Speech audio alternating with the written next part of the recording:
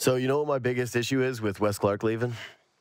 It's that he posted on Instagram, or sorry, I think it was Twitter. It was an Instagram clip, but it's a quote I love and that I've been using.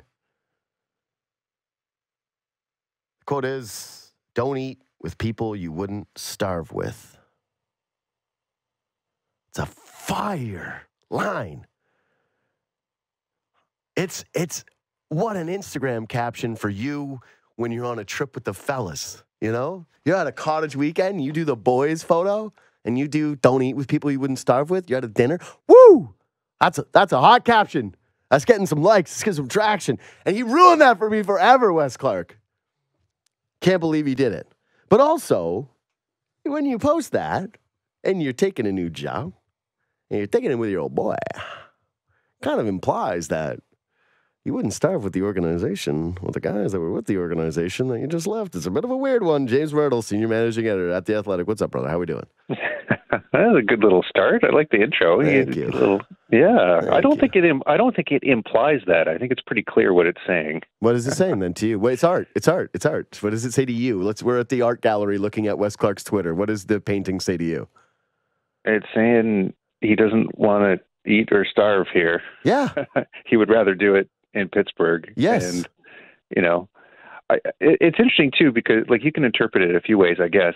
Uh, you know, there's probably going to be some starving in Pittsburgh coming up. Oh yeah. You know, like like they're not going to be they're not going to be eating out of the Right. Stanley Cup anytime soon. So you know, Bro. it's it, it's choosing to go where it's going to be difficult with someone who he wants to work with, uh, as opposed to stay somewhere where the grass is greener right now, but. I don't think he wants to be here. That's how I that's how I interpret that. and I don't know that there's another way to interpret it. No. Uh, I I want to get into that in a second, but I just want to say I got a theory about Wes Clark now. That I would like to say. He's going to Pittsburgh. What does Pittsburgh have? No draft picks. What does Kyle Dubas do? Trades all his draft picks all the time. This guy loves his job. He's like, yeah, I get three, I get a couple picks a year, or I get a to have picks. and sevenths. JD. Oh, They're gonna they're gonna get picks. Yeah, yeah. Like, but as of right now, as of right now, all he's got to do is like Oh. show up at every draft. They're like, get one thing, No. get a halfway decent development guy, and he's like, "Wow, I did my job. Thank you." One pick every couple of years. Wes Clark, you nailed it. All right, you're the man. You're the guy. Go to the Dubas Yeah, team where there's no picks. He's gonna trade them all away as soon as they're good. You're telling me Sid's gonna sign that contract extension? They're gonna be sitting on draft picks. Well, I mean, they just like that Kevin Hayes deal. They just made that to get the second round pick. Like uh, this is there's going to be a rebuild there at some point Some under point. Kyle Dubas, and we'll see when it starts. Yeah. Uh, okay. So why the uh, contentiousness? Because you and I both know this. This was out here for a little while before he left. That that that was it. That that was his last draft.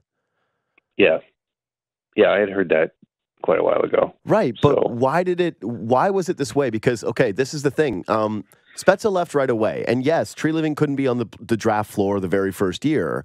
But why do the extra year if this guy was so clearly in Camp Dubas, like that he was a Dubas defector? Like, why did they wait so long?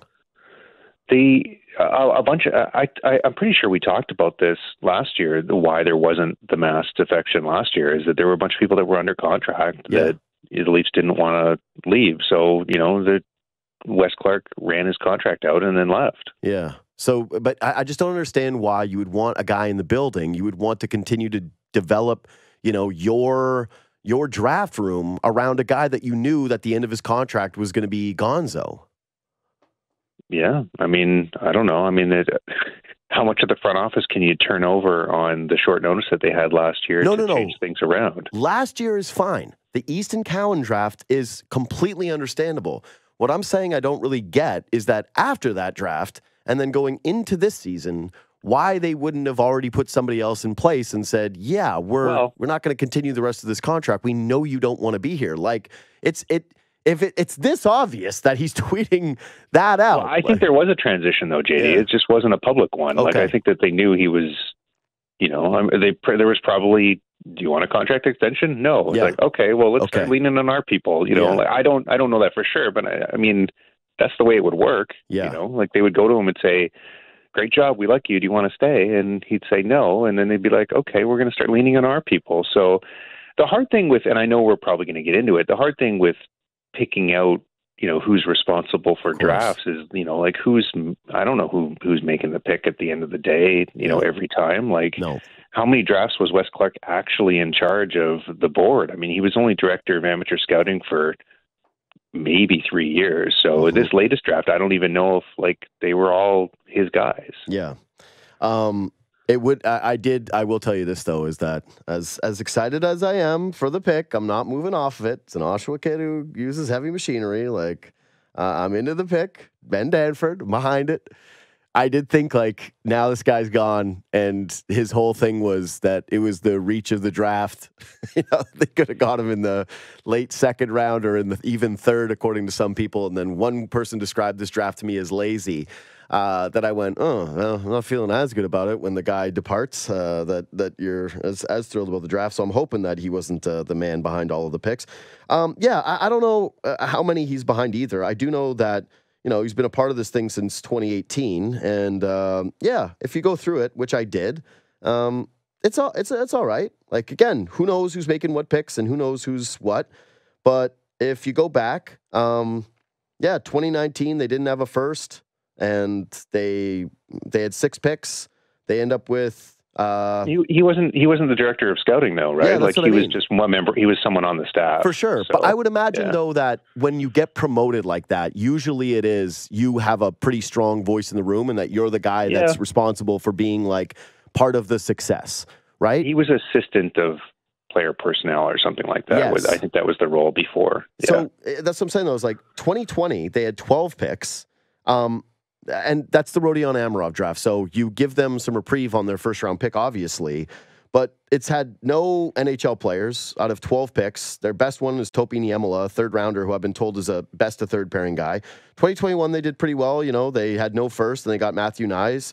2022, five picks, no first. They get Minten, who, and again, I know that some of these guys, they're not in the NHL and it takes a while to, to judge these drafts. But I will say that you can kind of draft them in the moment from this standpoint is like, what is the value of the player now, right? And right now, last year, we knew that Fraser Minten was not extremely highly coveted. Out of all their drafts, they kind of nailed one pick, which is nice. And then now the pick that is count. I think Minten is a nail. If you get that in the second round, a guy that people do think is going to be an everyday two way center that can play on your third line, I do think that's a good pick. But yeah, it's like that the, the mourning that was happening here and like the idea that this was like an, a, a major loss, I liked Wes Clark. I think that he did a fine job with the picks that he had. If you do give him a lot of credit for 2018, they made nine picks and picked three NHLers. First round Sandin, second round Durzi, which looks like a really good pick. And then Holmberg um, was a sixth round mm. pick, and he's an NHLer. So it's they like had some other good late picks that you missed though, like Who? Hildeby in the fourth round looks I like a really good third, pick. No, but yeah, fourth I mean, round, fourth round pick a couple years ago. Grebenkin is mm. already signed to an NHL deal. He had 41 points at yeah. 21 years old in the KHL last year. I've got like mixed reviews on the ceiling of that guy, though. Yeah, well, maybe, but he's yeah. a fifth round pick, and sure. he's already signed an NHL deal, and he's coming over. So, like, I mean, that's a good pick. Mm-hmm. Yeah, that's fine, I guess. That that is those. I'll give you those two picks, and yeah, Hildeby is big. That's what I know about him. He's big and he's promising. I guess. Like, we're hoping. Uh, we're very much hoping. But okay, th- this is the next one though. So this happened at the end of the contract, and now we've seen the Dubas defectors be the guys you would expect, right? Which is Spezza right away. Now it's his guy that runs drafts. Okay.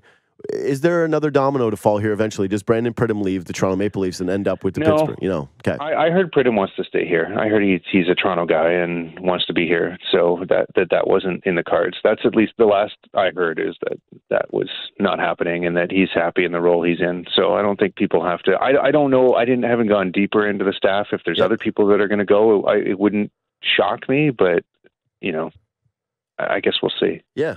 No, well, it's just when when you're looking at it now, it's like it's getting to be pretty clear. Like the the remnants of Dubas's structure are starting to get yeah, yeah. weaned out here. Yeah, his coach yeah, is gone. His yeah, his there like, still are people. There's still yeah. you know like you know, and there were people that I talked to yesterday that were upset that Wes Clark was leaving and thought it was going to be a big loss for them. So you know, there's it's last year it was a very divided front office because you had so many people that were loyal to Dubas and didn't like the way that it went down last year. And you're right, like more and more, you know, Treliving's been bringing in his people, and it's becoming, you know, Derek Clancy and Shane Doan, and mm-hmm. you know the, the the coach and the coaching staff, and it's starting to turn over, and that's usually the way that it works. It doesn't always end as acrimoniously as it did with the the Shanahan Dubas situation, but I don't think it's I don't think it's a huge problem. They just they need No. to find good people to replace the ones that are leaving. Here's the th- here's my thought on this as well. Um, you better be able to find somebody good when you're the Toronto Maple Leafs. Okay, Yeah. like you got Yeah. all more money than God. This is the kind of area where there's absolutely no excuse for you to not have the best of the best. So my question Go here, to Tampa or Anaheim, which have been the two best drafting teams the last 10, Dallas. 12 years, and and yeah, or Dallas, and and take their yeah, head scout. That's, you know, that- that's what I'm saying. So, do you think that that's what they do now, or that eh, again? It's very early, right? This just happened. I'm kind of ambushing you with this. I was like, "What's happening? Right? Get on here." But what do you think they do? Is this a they go out and do an external hire? Or do you think that there's someone already in the building that they're like, "No, no, no, we're turning to this person"? Uh, I don't. I don't. Honestly, I don't know at this Yeah, point. okay. But I mean, they have a lot of time, and they also they have no picks next year. So Yeah, you know they can. They they, they acquired a second round Yeah. pick, that's it. and and they have a fifth and a sixth round pick. So you know it's not like Why a- would you want to come here? They're like, hey, we want to pluck you from Dallas. He goes, okay, um, I got to sell my mansion. Uh, I got to, you know, leave this beautiful tax free state where the climate is nice. I got to come up there. They're like, yeah, yeah, no, it's great. You'll be able to get uh, a condo. Uh, it's uh, 600 square feet. Uh, it's cost the same as your mansion. He's like, okay, um, and what will I be doing for work? What will I take pride in? You go, no, you're not going to believe it. We got a second, and we're probably going to trade it as soon as the deadline comes around. It's going to be on every single trade list uh, that every single insider has in the business. But boy, oh boy, someday, buddy, you might get to make a pick. You got to get up here.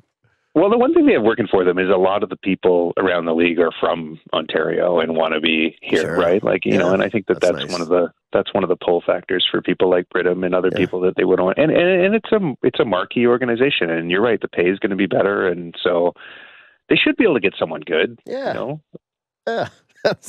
get your quants, get your analytics team to look at all of the drafts in the last six years and who did the best, and then just go hire that person. Mm. You know, what I'd rather do instead of the analytics team. I'd rather poll the executives around the league and go like, "Who's the most respected guy? Who do you think is the Who do you think is the man?" I don't think they're going to help you out with that. Yeah, you're probably right. I thought that was Treliving's whole thing. Everybody likes him. Everybody tells him the truth. They do. Yeah, that's They what I mean. Yeah, but So- I don't think they want him to steal their people. No, I don't think they do either, which is kind of a bit of a bummer because I really do want him to, to steal the people. Okay, here's the here's the last part of this. Um, do you- how involved do you think Shanahan is in this though? Now, like when they were talking about hiring staffs and getting guys in here, he's the president, so you would think that this would be under his purview because obviously. And yet, when we're talking about like, hey, there's some awkwardness of having guys from an old regime. Like I, I think that reason, as crazy as it is, even though we go through this every single year, where we're like, clearly this has to be the year where there's some accountability. It's like no, but now there is at least a track record of walking guys to the end of their contracts and then letting them go like this Wes Clark situation, and maybe that's what's going to happen with Shanahan. And I would say that. Uh, on a balance of probability, that is what's going to happen moving forward. So, yeah, have you gotten any sense of how involved he gets to be with decision making like this? I think that increasingly this is Treliving's team and his decisions. So that's, you know, I mean, no one's going to say it outright, but he's Tree Living has a lot of sway and a lot Mm. of power, and I think that his star is rising in the organization. So Which flat out it should be. Like, you know, that's this is the at this point, like again, I, I think that I share the disappointment that a lot, a lot, a lot of the fan base does right now, which is that it's almost like I, you hate to say it's stunning because it's just they do this every single year, but I am genuinely stunned that it's just Shanahan and Marner will both be returning, and that you know we're doing things like, hey, maybe David Kampf will get uh, traded, and that this is falling on. Like I, I keep seeing tweets about Kampf and Järnkrok's playoff production, and I'm going, yeah, they don't make that much money, so fine. Well, and I don't think people want them either. Like, what do you? you uh, some of the trade suggestions I see make no sense. Like, you're not going to get difference makers for. I mean, you No. could free up some cap space, but Sure. then I don't know what you're using it on, and it's not. You're right. It's not that much money. No, it's not that much money. There's not any really free agents left of any kind of impact. No. Uh, and so you're not getting anything for those players. Kampf even has a modified no move clause. So, you know, I, I just, yeah, what, what is Järnkrok worth to an organization that is going to be better than Järnkrok? Like, I, I, I'm failing to see it. So, yeah, when people keep telling me, just wait, just wait, just wait, I'm going, Sure. I, I don't. I, here's what I'm going to predict: is well, one is that you know you're going on vacation, so we won't have chats. But I don't think I'll be having a lot of, oh my God, chats, you're not going to regret being on your trip and wondering how you're going to podcast from England uh, or sorry, Denmark when uh, we're going over the next month. Anyways, uh, James Mirtle, senior managing editor at The Athletic. Thanks as always for making time, brother. Okay. Thanks, JD. See you, pal.